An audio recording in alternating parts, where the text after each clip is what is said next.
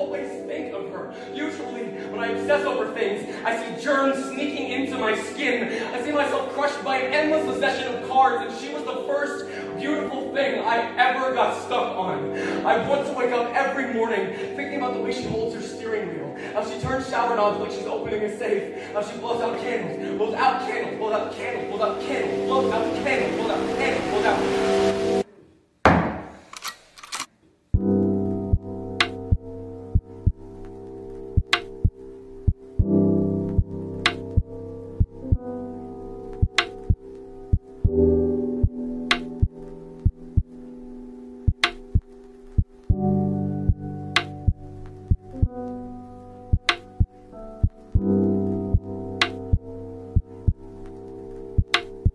But